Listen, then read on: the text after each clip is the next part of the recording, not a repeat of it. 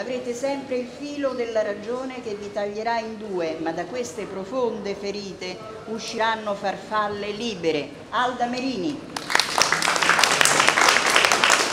Luminose, impavidi, brillanti, libere e indipendenti, sono donne. Ed è proprio a queste invincibili creature che è dedicata una corrispondenza speciale, un'esposizione, uno scambio di immagini, poesie e foto per rimarcarne la forza, la determinazione e il talento attraverso l'urlo silenzioso dell'arte. Ideato dall'artista romana Simona Sarti e realizzato in collaborazione con il primo municipio di Roma, in occasione della giornata mondiale contro la violenza sulle donne, il progetto intende sostituire ai volti tumefatti e ai corpi ricoperti di lividi un'immagine femminile forte e splendente, motore di sviluppo e cambiamento. I lavori riprodotti prodotti su cartoncino formato 12x12 uniti da un unico filo rosso di lana sono centinaia e centinaia, consegnati a mano e inviati con tanto di francobollo per tappezzare le pareti dell'ingresso degli uffici dell'anagrafe del primo municipio, per certificare simbolicamente una rinascita femminile. Gli autori sono artisti professionisti, studenti degli istituti d'arte, bambini, cittadini senza distinzione di genere, età, razza o religione. È un eh, progetto che ha voluto celebrare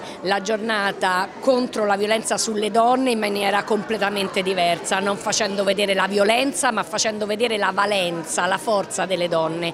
Un progetto che unisce tantissime donne, uomini, bambine e bambini che hanno voluto realizzare queste cartoline, delle cartoline 12x12 eh, che ci sono arrivate al municipio, quindi proprio una vera corrispondenza. In queste cartoline ognuno ha celebrato la forza delle donne come meglio credeva, con un eh, dipinto, con un eh, disegno, con una frase, con una poesia.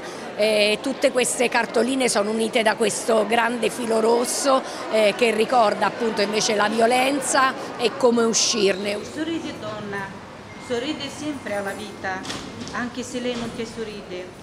Sorride l'amore finito, sorride ai tuoi dolori.